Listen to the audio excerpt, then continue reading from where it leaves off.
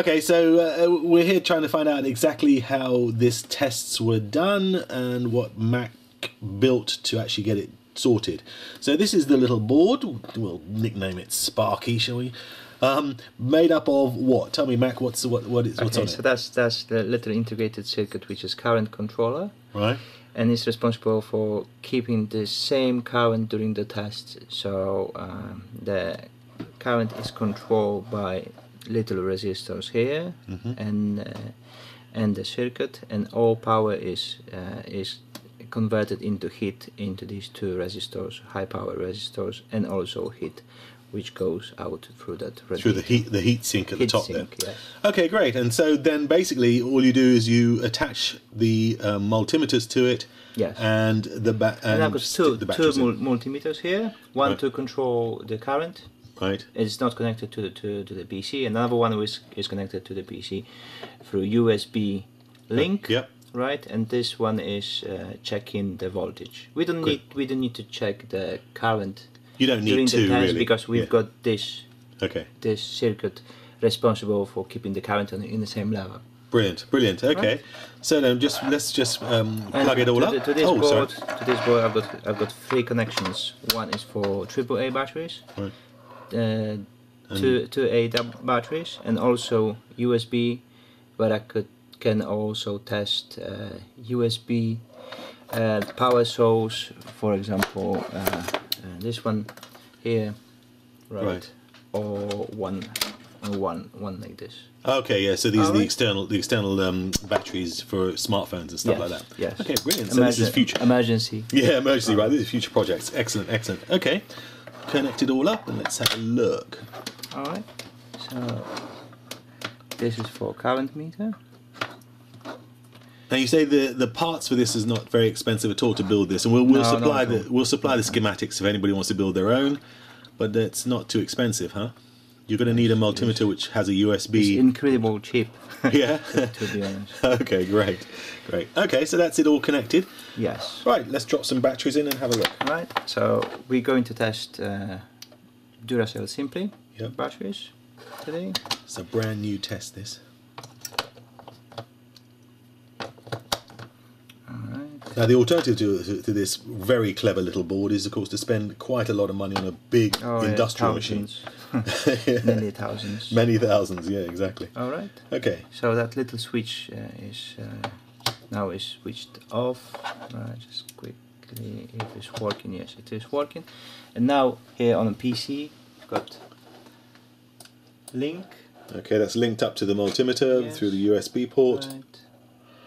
and this is set up to dump a reading every minute, Yes, I believe. it's exactly every 60 seconds. So Right. I can start my test Okay, right now. And now, what we can see is the voltage on the batteries, Right. which is yep, dropping down from 6 volts initially for four cells. right, The current is stable, yep, half of uh, of amp, yep.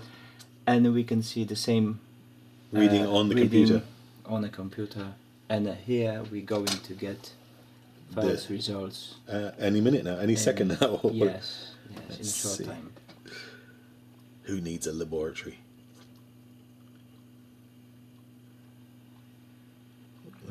Coming Oh, there it is. There it goes. First reading. So the first After reading one minute, it's gone down to is 5.2. 5.244 volts. Right. You got time and unit, which is DC voltage Brilliant. in volts. Right, and test continues. Excellent. And how long will this test run for? Well, I believe the Duracell could take 60 minutes. it roughly, depend- it depends, really. It depends if they on the if they go over 70 minutes, that that will be great result. But I don't think because Duracell is Okay, let's see. not, let's see not, what not the best battery. All right. Well, we'll return um, in a while and uh, just see how long the batteries last. Yeah. Thanks, Mac. All right. So one of the things we should mention about the uh, the experiment uh, or the tests is that it's Mac has really spent quite a bit of time researching how to make it as as useful in the real world as possible and, and accurate. So um, if you explain, you've just you've you've c- constructed it so that it's about as accurate as you can get. Am I Yes, right in, yes, in terms of the board? I wanted to know how much power in milliwatts is in in is in a single cell battery. Right. I used uh, LM317, uh, the current regulator, Right. right? And uh, the, all, all information that's manufactured by Texas Instruments, all information I, I downloaded from the internet, and uh, what uh, what says about uh, accuracy is uh, is a reference voltage, which is is the voltage, the difference on on a voltage between in input and output of the of the regulator. So manufacturer manufacturer says is between 120 and 130 volts. Right. Uh, it's typical 125. So in my one, I think is around 125. However, I wanted to get uh, uh, very accurate results. So as a reference, um, resistors, I used four of them connected par- parallelly. Right. Uh, so the uh, so You brought it down from twelve percent. Yes, twelve percent down to three. to three percent uh, maximum mistake. Uh, uh, plus, obviously, I think one percent as a temperature stability. But Uh, as so we were saying, it doesn't really matter because this is a comparative Yes, test, battery yes, against battery. yes, it's just it to make sure it, It you get as. but as uh, because I wanted to, to find out that that's okay. that's- oh, sorry. Because I wanted to find out how much power is, is in exactly in a, in a single cell. Right. I wanted to get results as accurate as possible. Right, of And course. so they are, they are. Oh, we're still we're still going down at a, a nice speed. So Well, in, six, in 16 minutes, right? And the current voltage is 4.364 that's in 16 minutes. Yes. Okay. We'll be interested to see where that, that those Duracells stack up at the end of the Alright, test. And we looking, uh, we we going to continue the test until it reaches 3.6, which is um, uh, for four batteries exactly 0.9 volt average on each battery, which is minimum uh, voltage.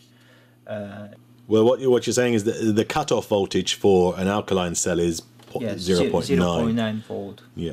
Okay. Right, so it's normally used as a cutoff voltage on a, an alkaline cell. Right. Okay. So Yes, they're de- they're basically yes. dead when you get down to uh, Yes, 3.6 when they, volts when they for get four. near 0.9 volt each cell, they, they are officially as discharged discharged completely.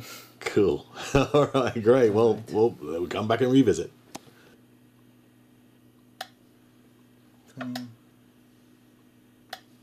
What we got? 38 degrees. 38 degrees.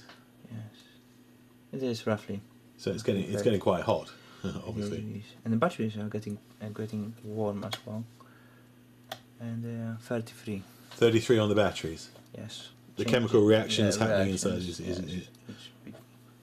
Generates heat. Now, is it is there any you know will people say, oh well, hold on, you're doing such an artificial drain because it's so fast, that, you know, that it doesn't um, reflect real world use. You know, when you plug it into a tape recorder or whatever.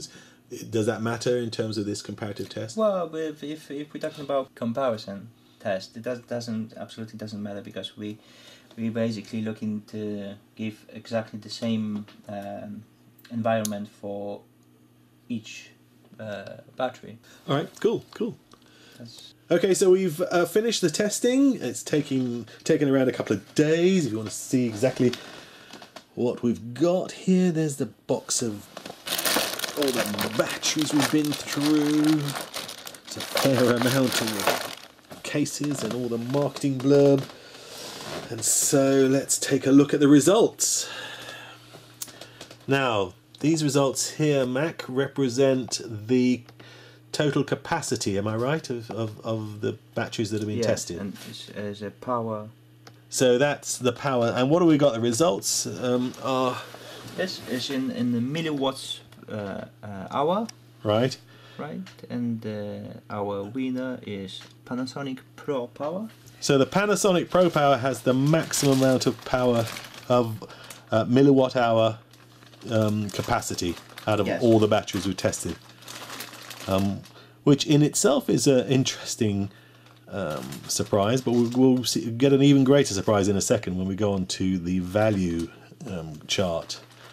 Yeah. Um, what's surprising here is how low the market leader is on this chart. If we look the Uh, first time we even on capacity. Duracell. Yeah, which is actually is, yeah. no, here's here I think it's Duracell. Yeah. Yes, Duracell Plus. Duracell Plus is the top on the sixth place. and sixth place, which is hmm, not Well, it's not it's not a huge difference between two of them. Right, It's- yes, it's okay. just uh, roughly ten percent. Okay. A ten percent difference between the between the Panasonic and the and the Duracell. Okay, let's go on to the really important chart now. This is the one that really counts because if you're going to be spending your money on the batteries, you want to know which are the best value to buy. So what are you're getting for your buck or your pound. And what we've got is this is the mind blower for me. Um, the top of the chart is the Kodak Extra Life, All whi- right. which uh, is quite considerably um, ahead of the lowest um, contender on the chart, which I find uh, quite astonishing that this there's this, this range of disparity. And once again, this is pretty mind blowing to me. Is if you go down, the first time you find a Duracell is down at where are we, where are we? Uh, here, There you go tenth place. in tenth place. And if we can see the difference between tenth place and the Kodak, and this is, This is four times different. yeah four times the, the different. I mean, we we've got contenders like Dio, IKEA, the IKEA, and Lidl, and Maplin, the OEM, the generics, all beating the Duracells, which we've been told forever are the best batteries to buy because they're the greatest product ever known. Yeah. And even when we, I mean, you know, even when we get down to things like the the Evolta battery, which is um, promoted as one of the greatest batteries on Amazon, it's the, the blurb is it's one of the best batteries on the market. It's languishes third from bottom in terms of value is, yeah. because of the price you're paying for it.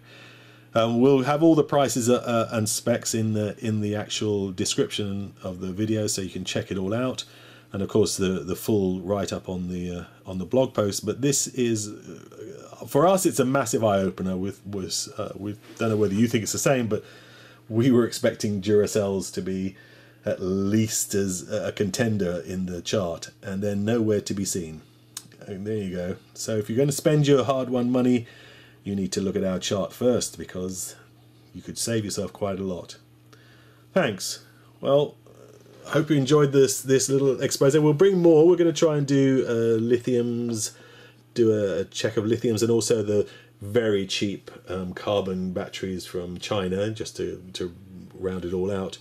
And of course, if you're uh, at all interested, feedback in the comments, and uh, you know if you want to help us, mm, chime up, and we'll we'll get your uh, contribution or whatever.